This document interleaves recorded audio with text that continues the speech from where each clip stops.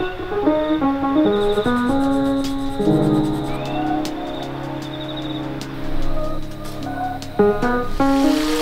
taking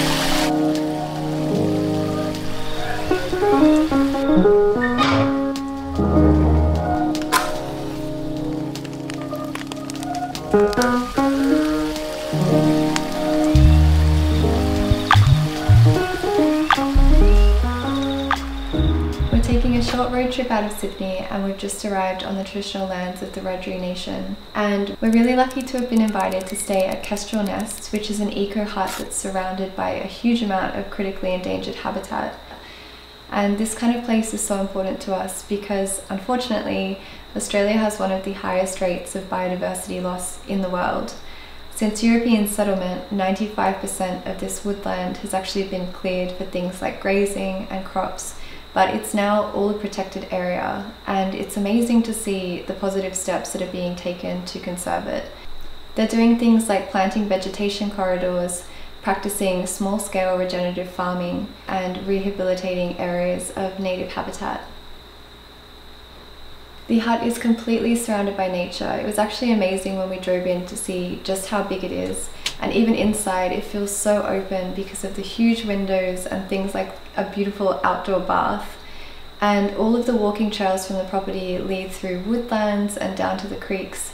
So we're feeling really lucky to have a few days here to just slow down and take it all in.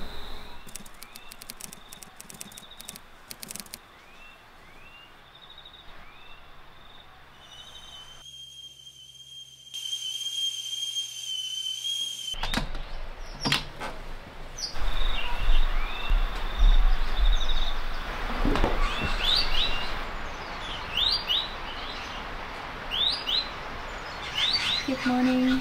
Yesterday when the sun set, it was still pretty cloudy outside, but after we had dinner, we looked out the window and suddenly everything had cleared up and we were really lucky to both see a shooting star at the same time. So we grabbed the camera and rushed out to try and take some photos. And even though it's still a little bit cloudy, it was so far from everything that we saw the brightest Milky Way over the hut. We're going to make some breakfast with some food that they've left out from the farm. We've got things like sourdough bread, eggs and bacon and then we'll probably hike to some of the nature reserves.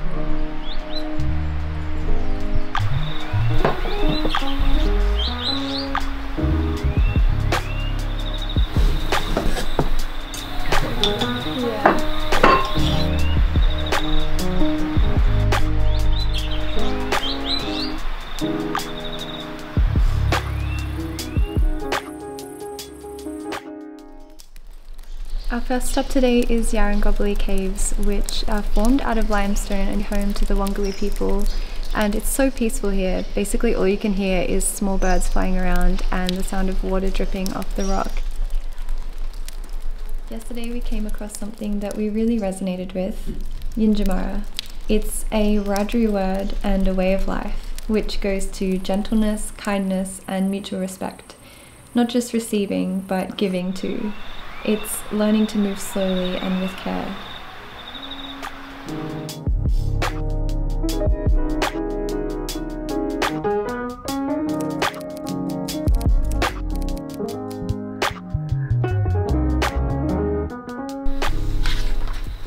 We really wanted to leave something small here, so I'm starting a drawing and we picked out a picture of the kestrel because we found out that it was the only bird that the owners saw on the property for weeks after the 2019 to 2020 bushfires tore through the area. The fires were so catastrophic and they were honestly quite a big turning point for both of us as well.